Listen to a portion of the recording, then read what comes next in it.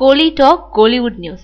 தமிழ் திரையுலகில் வில்லன்கள் பஞ்சம். தமிழ் திரையுலகில் இப்போ வில்லன் நடிகர்களுக்கு கடுமையான பஞ்சம் ஏற்பட்டிருக்கான் முன்னணி வில்லன் நடிகர்களா இருந்த பிரகாஷ் ராஜ் நாசர் ரெண்டு பேருமே இப்போ குணச்சித்திர கதாபாத்திரங்கள்ல தான் நடிச்சிட்டு இருக்காங்க.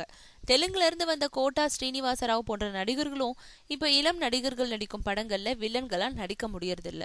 வேற வழி இல்லாம ஹிந்தி திரையுலகில இருந்து வில்லன்களை அழைச்சிட்டு வந்து நடிக்க வைக்கிறாங்க. ஆனா அவங்க நம்மளோட மண்ணுக்கு பொருத்தமா இருக்கிறது இல்ல சமீபத்துல வெளிவந்த முன்னணி நடிகர்களோட படங்களோட கதைக்களம் மும்பையா இருந்ததுனால ஹிந்தி நடிகர்கள் நடிச்சது பொருத்தமா இருந்தது.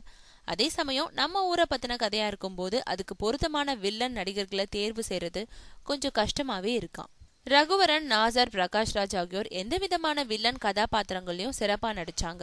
அவங்க இடத்த இனி வரும் வில்லன் நடிகர்கள் பிடிக்கிறது ரொம்பவும் கஷ்டம்னு சொல்றாங்க அனுபவம் வாய்ந்த இயக்குனர்கள் தமிழ் பேச தெரிஞ்ச நாயகிகள் தான் கிடைக்கிறது இல்லைன்னு பார்த்தா இனி தமிழ் பேச தெரிஞ்ச வில்லன் நடிகர்களும் கிடைக்க மாட்டாங்க போல இருக்கு.